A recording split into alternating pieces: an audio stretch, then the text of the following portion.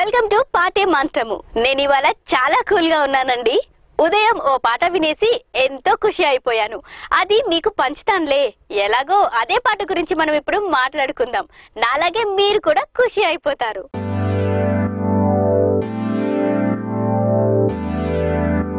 ప్రముఖ తమిళ దర్శకుడు మణిరత్నం వహించిన చిత్రం సఖి నుండి అలై పొంగెరా కన్నా అన్న పాట ఇవాళ చూసేద్దాం.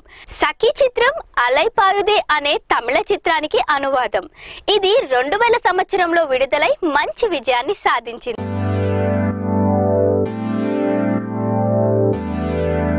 ఆ టైంలో యువత ఎవరి నోటా చూసినా సఖీ చిత్రంలోని పాటలే. మరి రెహమాన్ మ్యూజిక్ కదా? మణిరత్నం గారి కాంబినేషన్తో రెహమాన్ పనిచేసిన ప్రతి చిత్రం మ్యూజికల్ హిట్గా మారుమోగిపోయింది.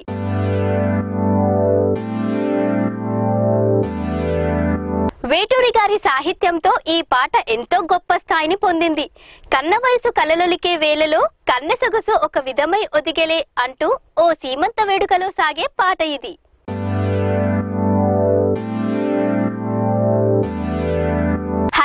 కల్పన కళ్యాణి మీనన్ గాత్రాలని అందించారు. నిలబడి వింటూ చిత్తరవైనాను కాలమాగిందిరా దొర అని ఆ కృష్ణుణ్ణి పిలుస్తూ పాడే ఈ సిచ్యువేషనల్ సాంగ్ ఆహ్లాదంగా సాగుతుంది.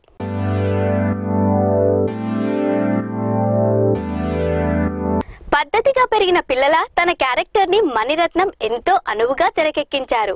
సినిమా మొత్తం బ్యాక్గ్రౌండ్లో వచ్చే సంగీతం సీన్స్ని మరింత హైలైట్ చేసి చూపిస్తుంది.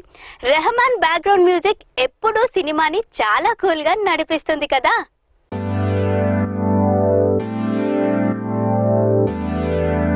సినిమాని చాలా కూల్గా నడిపిస్తుంది కదా? ఇందులోనూ అంతే. సన్నివేశాలు కూడా పాటలు మాదిరి చెవులు రిక్కించి వినాలనిపిస్తుంది.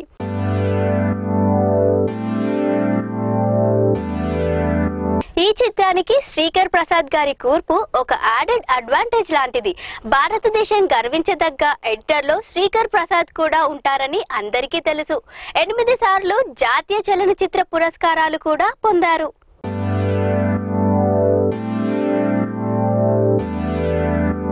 ముత్తైదోలు పాడే ఈ పాటని ముగ్గురితో పాడించి తనలోని టాలెంట్ని నిరూపించుకున్నాడు రెహమాన్. మరి ఇవాంటికి ఇవి సరిపెట్టేసి రేపటి కోసం ఇంకో పాట వెతుక్కుంటాను.